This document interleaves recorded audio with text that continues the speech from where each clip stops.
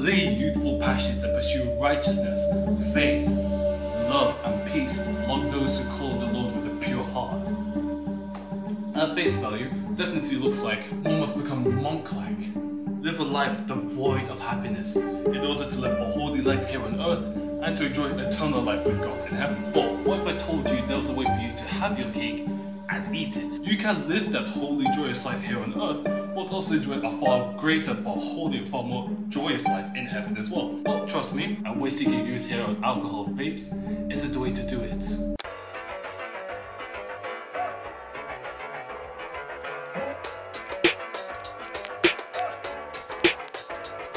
So, why can't we party our youth?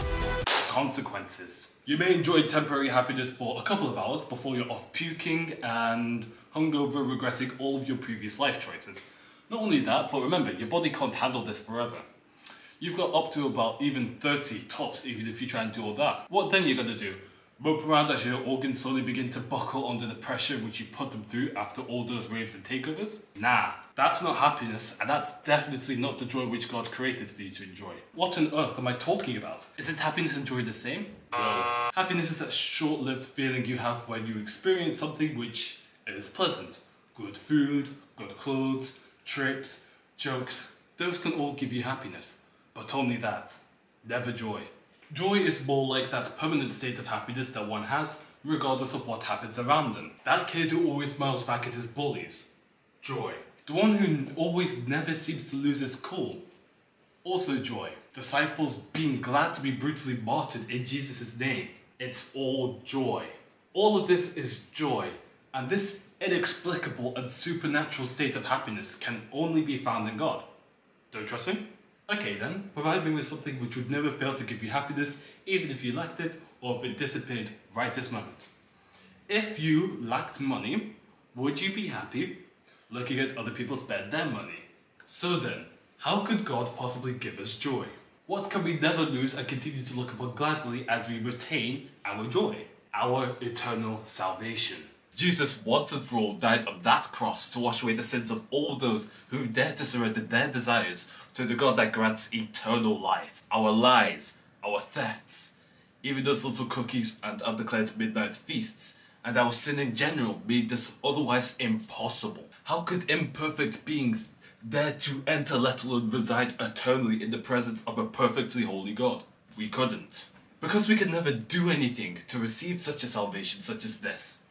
What then could we possibly do to lose it?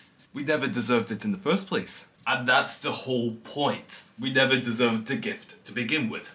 Whatever we do, we couldn't do anything to lose this gift other than refuse to accept the gift in the first place. That's what makes it special. That will never change. That's our eternal source of joy. As such, we will rejoice in the Lord always. Again, I will say, rejoice. It's through this joy that we can both live a life that isn't devoid of happiness, yet also live the righteous life of those entering into eternal life. You can have your cake and eat it. Ephesians chapter 2 verses 8 to 10 lays out how any of us are even led to even want to live righteously in the first place. We accepted that gift and live righteous lives in gratitude. We don't choose not to drink or smoke or party solely because of a fear of hell. Rather, we do so because we have our eyes on something far greater, the heavenly riches.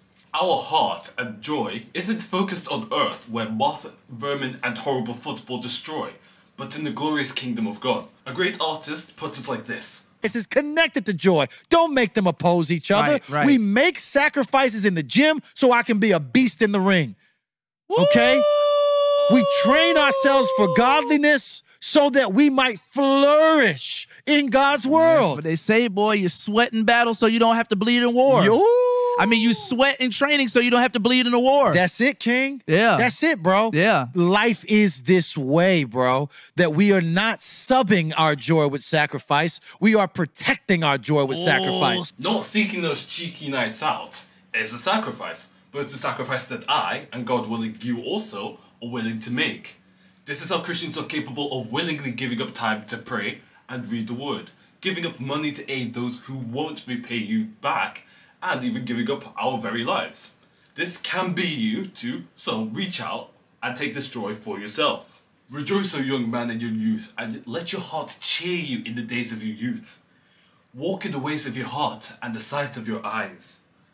But know that for all these things, God will bring you into judgment, either for the good or for the bad.